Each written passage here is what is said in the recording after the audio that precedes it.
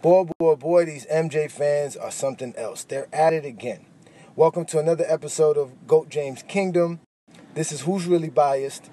I'm the. So, Nick Wright came out with his NBA top 50 players for the last 50 years.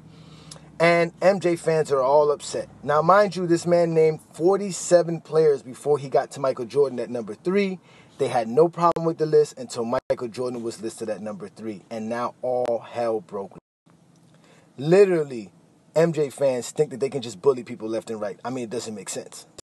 So, according to MJ fans, no one could be better than Michael Jordan, especially two players better than Michael Jordan. That's impossible. That is just erroneous. It's blasphemous, right? Even though this individual will probably have a criteria and actually break it down like Nick Wright did, but then you'll have people like Chris Broussard coming with nonsense like Michael Jordan is not the second best player ever.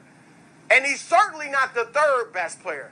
Michael Jordan is the GOAT. Period. The end. Is that so, Broussard? Please indulge me. Tell me how. Only Michael Jordan has the incredible combination of individual statistical dominance and winning a ton of. Michael Jordan did more in fewer seasons. All right, so first let's attack this winning and statistical. Okay, so he brings up this graph, right? Well, where are the stats? Where's the statistical dominance? You claim that Jordan has statistical dominance and he was winning.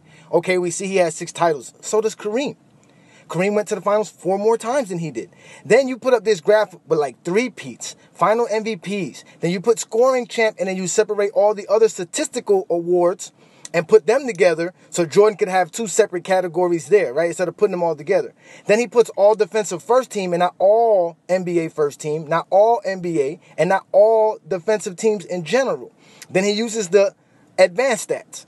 Where is the statistical dominance that Jordan has? From my understanding, Jordan only dominates in scoring, and he's not even the greatest scorer of all time. That would be Kareem Abdul-Jabbar. Jordan is fifth on the scoring list. Okay, so where is all of this dominance? In fact, Kareem has more rebounds, more assists than Jordan as well, plus more blocks. Where is this statistical dominance?